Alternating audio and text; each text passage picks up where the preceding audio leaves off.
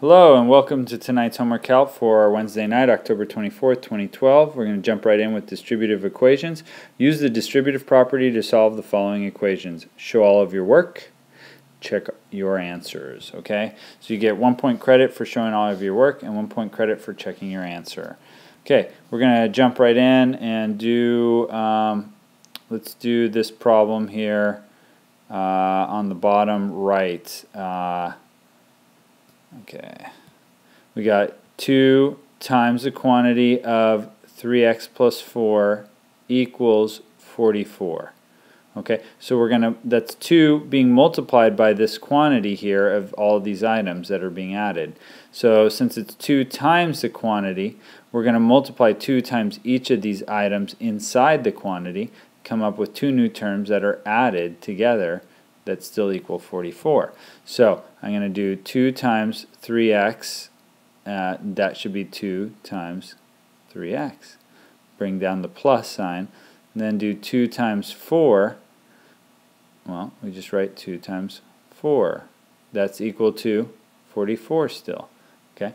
Then uh, here we have 2 times 3 times x is essentially what's going on there. So I'll just multiply the 2 times 3 and then leave that multiplied by the x. So 2 times 3 is 6 times x is x plus 2 times 4 is 8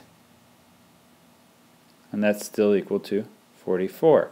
Now at this point we've, we're done with the distributive property and using it. We've distributed the 2 to both of these. We've multiplied them through and come up with our new left-hand side of our equation. And the right-hand side we just copied down. Now this should look familiar, what we were doing all last week, uh, two-step equations. So now we want to um, isolate the variable, the x, we want to get it all alone. So we want to strip it of the 6 that's being multiplied by it and this 8 that's being added by it. And it just so happens that we use PEMDAS, but we use the reverse PEMDAS when we're uh, solving an equation. So we're going to want to start with addition and subtraction first. Uh, since we're adding 8 here, we're going to want to turn that to a 0 by subtracting 8. So if we subtract 8 from 8, that'll become a 0. And then we know that 6x plus 0 equals 6x.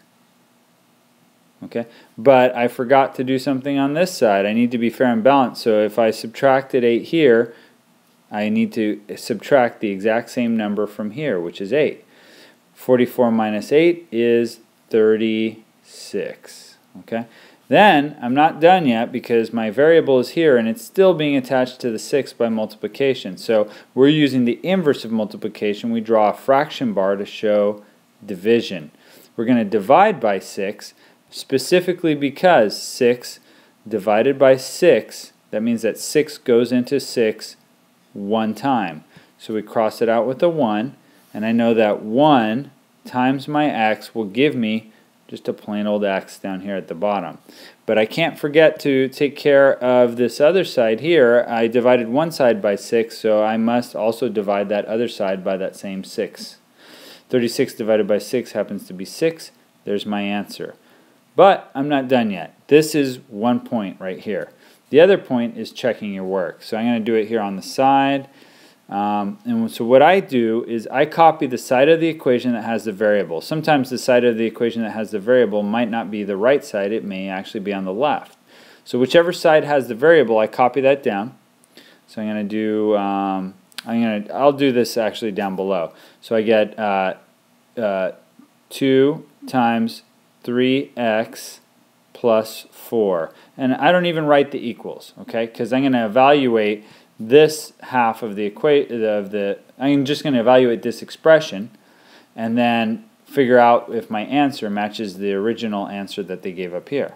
So uh, in place of the x that I got for my answer, I'm going to substitute this x here with what x equals, which is 6. So I'm going to jump a, uh, pop a 6 into there in place of the x. So then I end up rewriting it as 2 times 3 times 6 plus 4. Well, 3 times 6 is 18, and then we have plus 4, and the 2 multiplied on the outside. Well, 18 plus 4 is 22. And I have the 2 still being multiplied on the outside. Okay? Uh, 2 times 22 equals 44. So then I look at this answer and I compare it to the original other side of the equation that I didn't copy, and they both match. So that means that the answer that I got here is correct. Okay, we're going to go ahead and move on to the other side. Okay, here we are on the other side, distributive property multiplication part B. Okay, instructions, multiply the whole numbers below by using the distributive property, multiply the tens and ones place values separately, and add the products. So in all of these problems, we're going to take this first number and we're going to split it up into a sum of the tens place and the ones place. So I'm just going to do the very bottom line, since in theory that would probably be the hardest one. Um, okay, so let's see here. I have 77, 77 times 2 equals something times something plus something times something, which equals something plus something equals something. Okay, a lot of somethings. Well, I know from here that I'm multiplying everything by 2, so I know that that comes after the multiplication symbol, so I'm going to fill that in right away. That's times 2 and that's times 2. Okay, and then um, 77 can be split up into 70 for the tens place. Let me try that, writing that again there. Uh, it's going to be split up into 70 plus 7. Okay, so on this side we had the tens place, and here we have the ones place. So I'm going to put a 70 in the first space and a 7 in the second space. Okay. Now, 70 times 2. Well, I know 7 times 2 is 14, and if I put that 0 back on for 70, then it should be 14 with a 0 at the end, or 140. Okay? Um, then uh, I have 7 times 2 here, and we already know that that's 14.